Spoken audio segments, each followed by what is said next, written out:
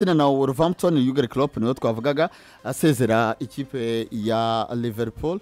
Uh, mu myaka icyenda Jurgen Klopp muri Liverpool atwayemo ibikombe icyenda twavugaga ati buri mwaka byibuze uh, twabigereranyamo buri gikombe cyose yakiniye yaragitwaye. Eh, yaragitwaye.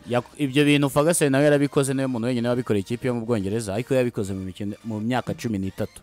Icyo atasize ni eropa Eh? eropa Europa ntayo yigeze atwara yatsinzwe kuri finale Eh, yatsinzwe kuri finale. ya sezo yajemo Yaje ariko- yaje atsindwa finali indi yashobokaga yari iy'uyu mwaka. Ah, ariko ibi gutwara ibikombe igikombe cyo ku mugabane burayi ugatwara shampiyona ugatwara igikombe ibikombe by'imbere mu gihugu amakomyuniti shield n'ibiki byose.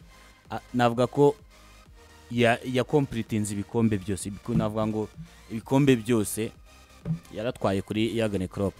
Imyaka icyenda Liverpool izamwibukira nk'umuntu bahuye bahwa- bahwanye.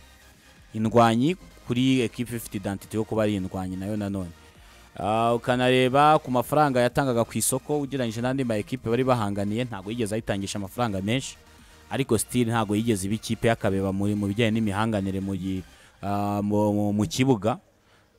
Kuko yaba sezo nziza n'imbi n'andi makipe yarazigize kuko na na Pep Guardiola se yabaye uwa gatatu? Niba nibuka sezo neza. ye ya mbere.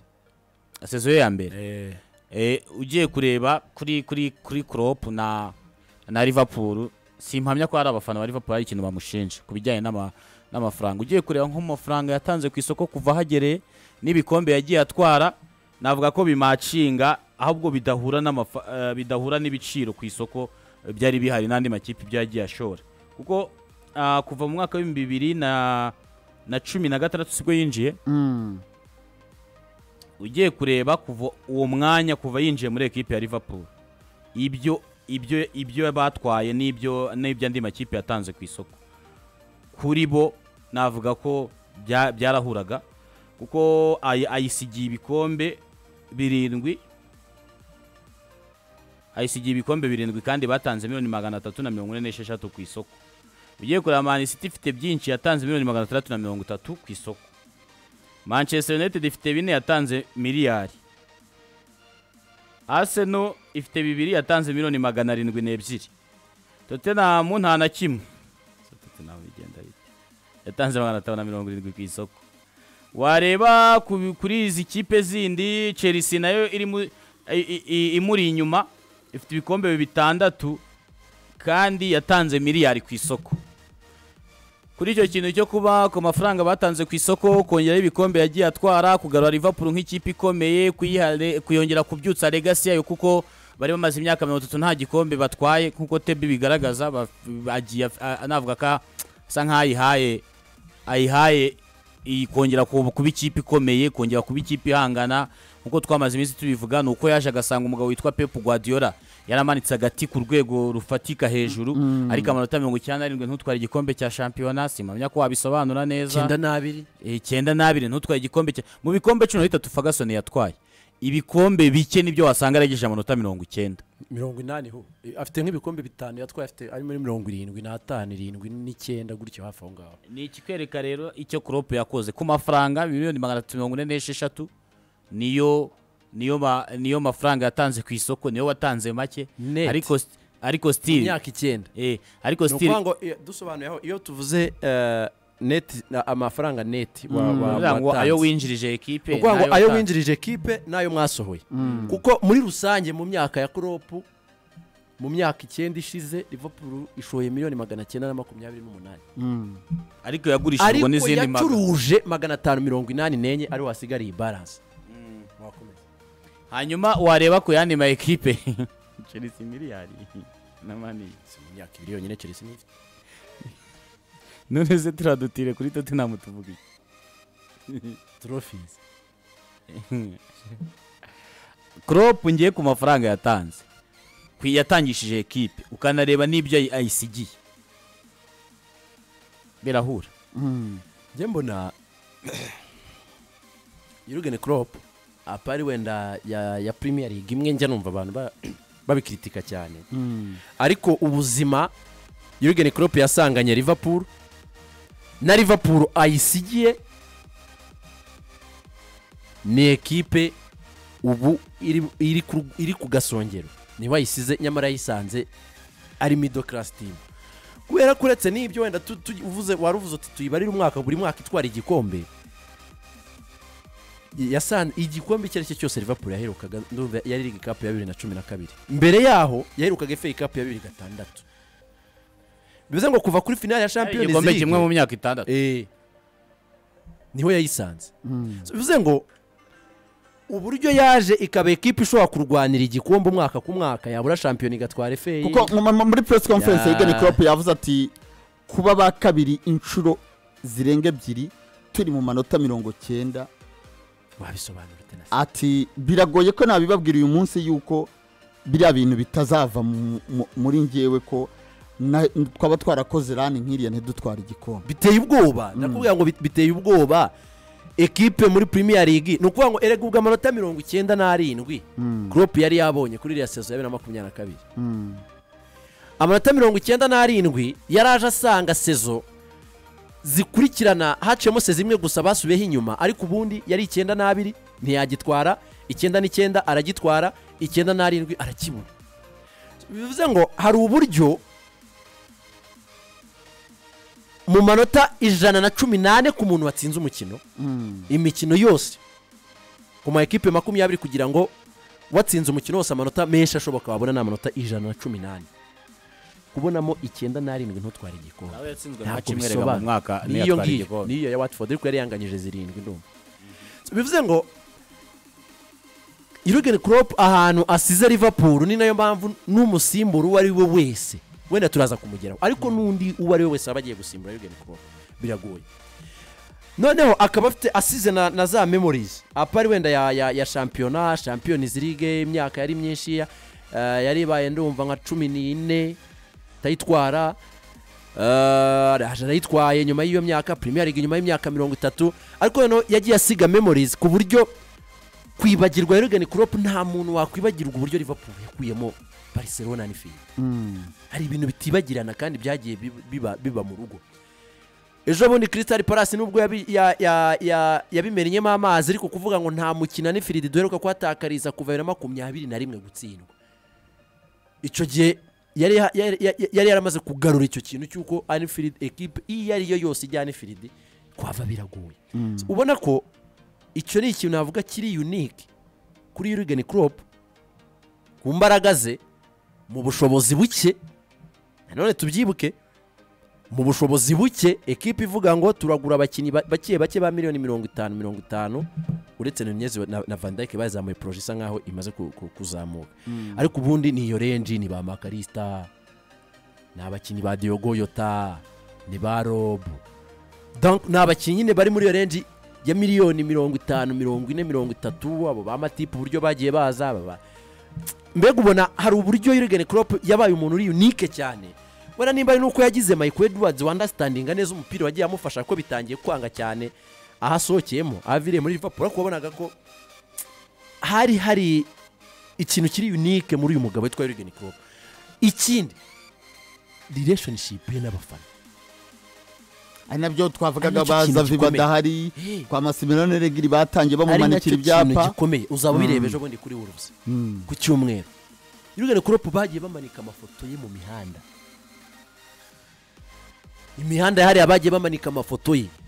Ku masitade imbere ku mageti ya stade bagiye bamanika amafoto ya Klopp mana abantu barakoresha imipira ya Klopp ba- bakayambara. Ubona ba- bari proud. Atari kuvuga ngo bambaye iya Liverpool. Mm. so ubona ko uburyo asize Liverpool ni ikintu cy'ibanze cyo gushimirwa.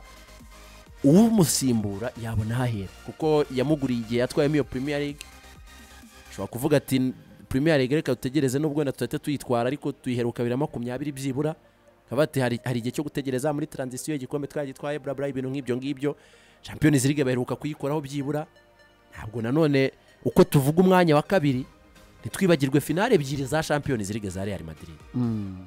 Bibiri na cumi n'umunani na bibiri na makumyabiri na bibiri na makumyabiri na rimwe. Mm. ntabwo na zo tuzibagirwa. Mm. na cumi n'umunani araje umu- umusifuzi bla biki n'ibiki ariko birangiye ari bitatu kuri kimwe. Amakosa y'umuzamu igikombe baragitwaye umwaka ukurikiye yagarutse kuri finale ya Champions League arayitwaye. Mm. Iyo iyo sezo yaragize icyenda n'abiri igikombe yakibuza aragitwaye umwaka ukurikiyeho bibiri na makumyabiri eh, bibiri na makumyabiri. Na- cumi n'icyenda na makumyabiri. muri shampiyona. Bibiri na makumyabiri na rimwe tena agarutse ku mukino wa nyuma wa champions league nanone reyari irongera iramutsinze irongera agitwaye. So, ubona hari uburyo atagizemo wenda n'amahirwe cyane ariko ikijyanye n'uburyo yubatse kipe mu myaka ibiri itangira gutwara igikombe byari ibintu bitangaje. Navuga ko ni umuntu wo gushimirwa cyane ukeneye seremoni yihariye muri stade ya alfred ku cyumweru. Uwo ni Jurgen Klopp yivugiye ko rwose wazaba ari umutoza wa Liverpool sezo itaha Aneslot yiyanoshe muri make niko navuga. Eh, ivashyiraho ako kantu reba ako kantu nguhaye. Aje guhura n'iki uyu mugabo Klopp amusigiye iki agiye guheraho ubundi? Ku buryo twavuga ko agiye gutangira neza sami kuropa amusigiye amusigiye kipe kuko yavuze ati i can confirm that i will be the new liverpool manager next season. Aneslot yiye ikipe ntiramutangaza ariko we yitangaje. Karido kuri bari karido kuri bari hari ipostingi ati ndi mu ndege ngiye kwa chelsea.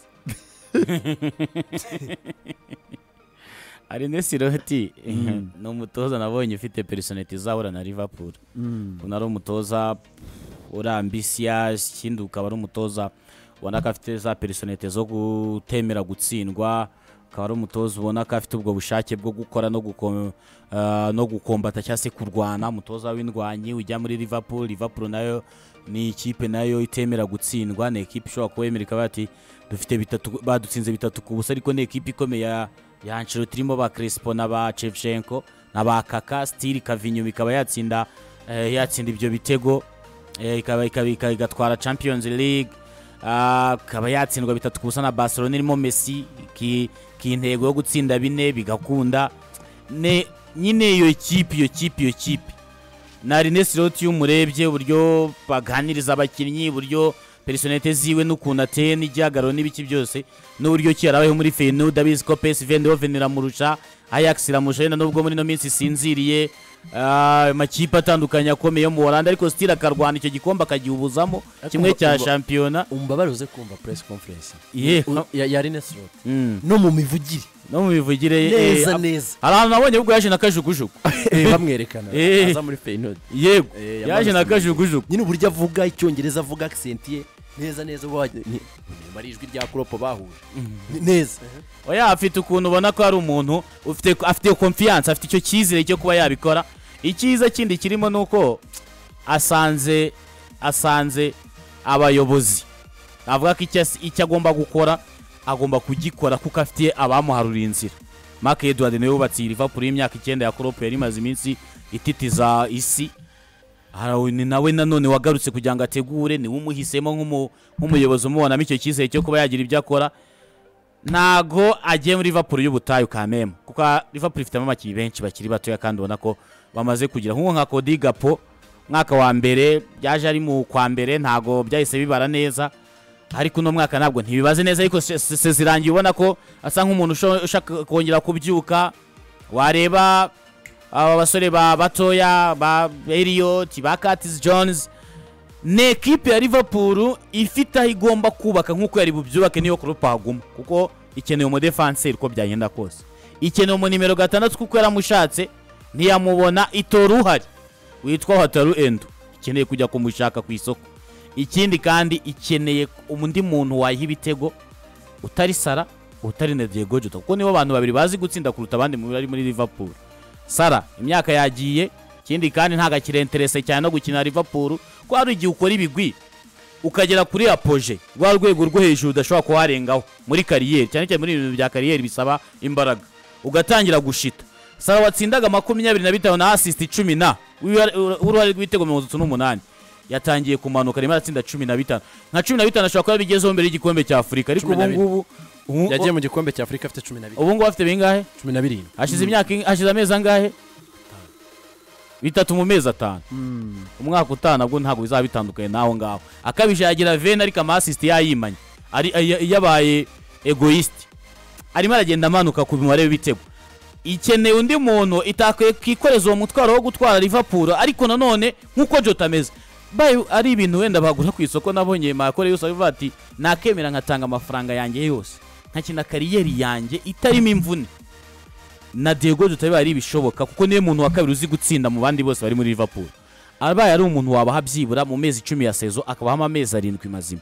Liverpool yagera ku ntego zitandukanye n'izo n'izo yagezeho umuntu n'umwaka gusa akeneye undi mwate undi muntu wo kuza gufasha. Ariko hari Arne Slot nk'umutoza avuye muri navuga ko avuye mu gishanga cya academy kuko mubona ni no hantu tuzi ava ama amatara atandukanye menshi kuko ayo makipe yaba afite uwo mwanya wo kwihanganira yaba aturutse muri Amerika y'Amajyepfo yaba abakinnyi bavuye muri academy zabo cyane cyane n'amateka ah, kabagira ah, ahantu bakora abakinnyi benshi n'abandi bakinnyi batandukanye Arne Slot navuga ko Liverpool byibura ubu ngubu muri cumi n'umwe babanza mu kibuga barindwi bafite bahamye.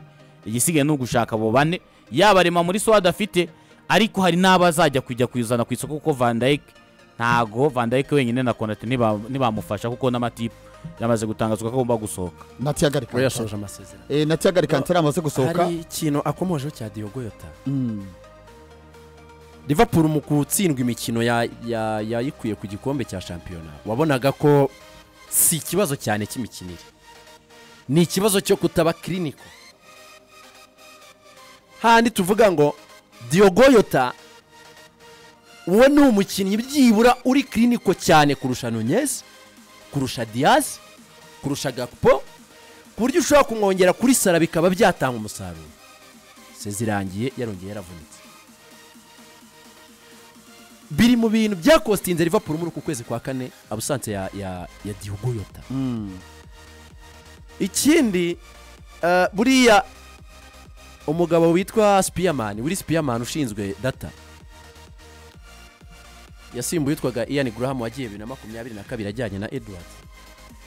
So hari uburyo Liverpool yo itagira amasantima cyane mu, ku- mu, mu, mu kurekirita mu, kwinjiza yaba abakinnyi yaba abatoza yaba, yaba abastaff kuko bagira icyo bo ni cyo nakwita indangamuntu yabo identity ariko noneho bakareba n'imibare. Uzi ko umutoza witwa thomas frank yabaye shortlisted? Kubera uko akoresha imyitozo. Bafite ko standard liverpool yasetinze Mm. y'imyitozo bageraho. Umuntu wari uyujuje mu batoza babanje kuganiriza bose. Ni thomas frank. Wa Brentford. Ikintu utatekereza kandi nta- ntabwo ntabwo byigeze bivugwa cyane nk'uko hari havuzwe baza alonso. Mm. jite iyo iyo ikintu cy'imyitozo uburyo bakoresha imyitozo mu batoza bose bari ba- bagiye bavuga. Basanze umuntu ucyujuje uri kuri iyo standard ari thomas frank uburyo imyitozo yabo ikorwa. So ariko usanga hari ibindi wenda niba umuntu umutoza bashaka hari ibintu mirongo itanu agomba kuba yujuje ugasanga wenda udomina afite wenda mirongo ine n'umunani ni uwo nguwo hari uwumurusha mu bindi. So mbona nk'uko samira bivuze mu bakinnyi bahari ikipe ya liverpool ni ekipe iba igomba kugira home grown players. Runaka abakinnyi runaka muri ekipe batanu ba- bakuriye muri- liverpool. Bazi igisobanuro cyane cya liverpool cyangwa se wenda baje ari batoya. Ibyo rero bisaba bisaba iki? Bisaba ko umutoza uhari aza no kuba afite ubumenyi kuri akademi uburyo aza kuyimanejinga nguhereze urugero icyo twavugaga cy'ubuhorandi teni haga nubwo yabuze success muri ekipe nkuru ariko u18 niyo kipe iteye ubwoba mu bwongereza muri premier league y'abato Mm, itwaye ni na n'abasatwaye Treble. Premier League Eh, Mm. urumva so bivuze ngo hari ibyamunaniye bindi muri ekipe nkuru Mm. ariko we yatushe ye cya kintu ziratani yavuze ngo ni umuntu uzi kudiringa n'abakinnyi batoya n'abakinnyi bari success barimo baraba successful muri ekipe ya manchester united Na- Ni abatoya. under 21. Urumva So, aho ngaho rero liverpool yo ireba ibintu byinshi umutoza ujyanye na na yo ubwayo. Gusa ntabwo haburamo impungenge. Sibyo? Abaye ari guardiola nta mpungenge wagira. Byakwanga nawe. Ushobora kujyamo nawe bikanga. Ariko nyine uba ubizi ko hari ahandi hantu yagiye ibyo bintu yabikoze.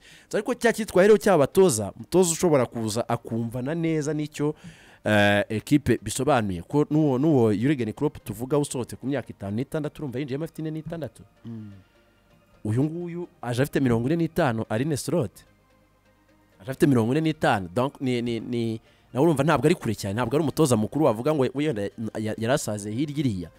Kandi urebye progression yo muri Azeda Rukumar Feyenoord uburyo yaje agatwara igikombe cya shampiyona wibuke yakinnye finali ya, Europa League. Roma iramutsinda. Sibyo Ah, aragarutse uyu mwaka ntabwo abashije gutwara shampiyona ariko yatwaye igikombe cy'igihugu. Urumva? Ubona ko hari ikintu cyo gutangiriraho nawe cyane ah, kuri Arne Slot nawe ku giti cye no muri abo bakinnyi. Mbona rero nihaza kubaho uburyo bwo kumubakinga. Navuga ko bishoboka bijyanye na Edwards wamaze kuhinjira. Birashoboka ko ya- ya- ya- yagira ahantu atangira byibura. Wenda niyo ata- atahita yiha ibikombe ariko agaharanira ko ihaguma. Uyisanze top 4 yirekeremo wisanga ikipe yabaye champion uhita uyigirira iya karindwi nka David Moyes. Icyo gihe bigusaba imbaraga nyinshi cyane. Chelsea izasimbura ndetse. Uyisanze muri top 4 yirekeremo sinzi uyizasimbura niba izaza. Daboro banza uyirekeremo ibyo ifite yibibura kubera wowe. Kuko ntabwo ari ekipe turi buze kubona exodus y'abakinnyi benshi. Hashobora gusohoka umwe cyangwa babiri mu- mu- mu- muri starting 11 wenda bi- bijyanye na situation ya Mohamed Salah uko izarangira bijyanye n'icyo Van Dijk azifuza abakinnyi nk'abo ngabo simba n'umukinnyi bazagurisha muri starting 11 keretse wenda eh, ibya Trent Alexander Arnold bikomeje kugorana Real Madrid ikemera kumugura. Igahita imutwara asigaje umwaka umwe. Ariko ubona ko ntabwo ari abakinnyi benshi muri starting 11 bazagenda. Klopp asize abo homegrown players abahaye debi nyinshi muri shampiyona tubonye abana benshi ba Jayden Dance ba Clark ba Gordon Ba Elliot. muri mu ya mbere ni abakinnyi Ko- Kono Bradley ni abakinnyi nubona ba bagera nko kuri batanu batandatu ahaye debi muri muri muri sezo ye ya nyuma ya Klopp. So noneho kandi atari uko yabuze abakinnyi Eh, atari uko yababuze cyane ari ukuvuga ngo nibaze bajyemo noneho ukavuga uti igisigaye rero noneho shuwa umutoza head of recruitment sporting director michael edwards signings liverpool igiye gukora ko ari zo zigomba gukora ikinyuranyo. Ziraza kuba ziri ku ruhe rwego iyo ni liverpool ndetse na